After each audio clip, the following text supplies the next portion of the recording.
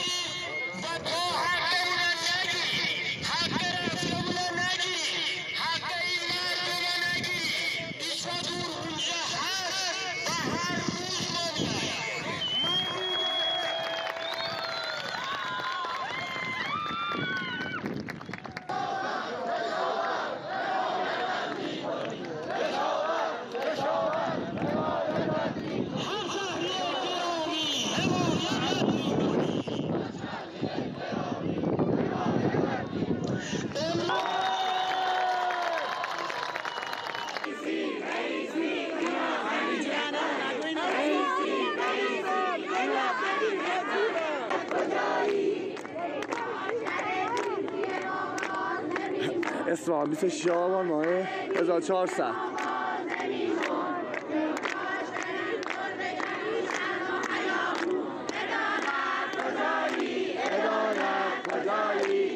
جواب بده آقا. یارب ظلم نه از دور تاغوتم بود. مشکل اینجاست که با عدل علی خار شدیم. برده گشتیم اگر یوسف کنان بودیم. بهر چند درهم چاره نیست به جز اون که از این حق گذریم که سیه روزی خود دیده و بیمار شدیم اونقدر چوب عدالت به سر ما زدن که از این عدل حکومت همه بیزار شدیم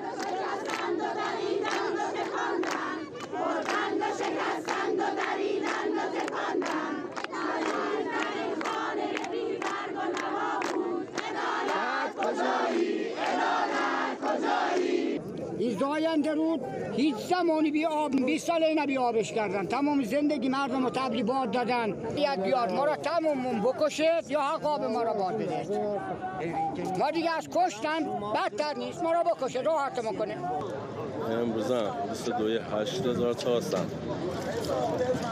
کلی خواهد و کف رودخونه.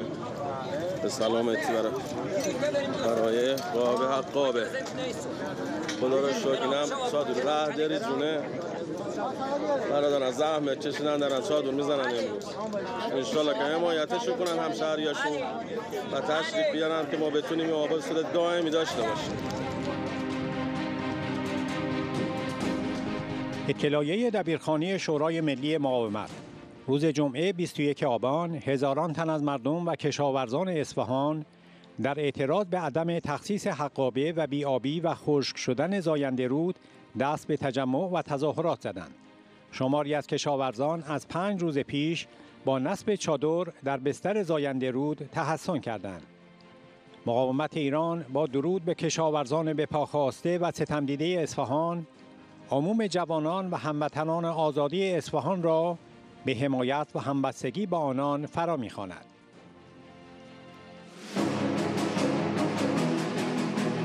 تجمعهای مردمی در شهرهای تهران، اهواز، ایزه و نیشابور در اعتراض به قارت و چپاول حکومت آخوندی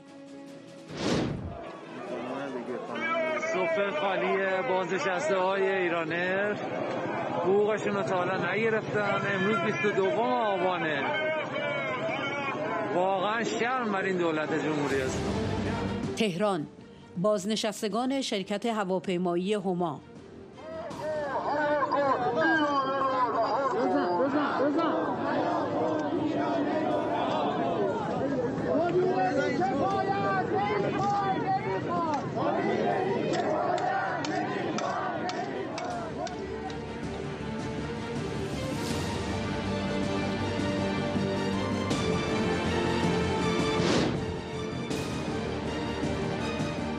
اهواز تجمع اعتراضی کارکنان قراردادی شهرداری.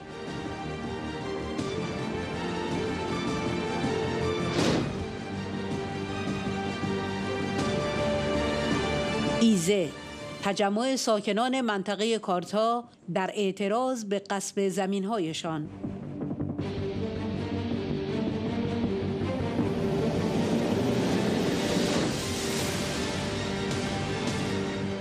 مشهد تجمع اعتراضی نیروهای خرید خدمات در مرکز آموزش و پرورش نیشابور.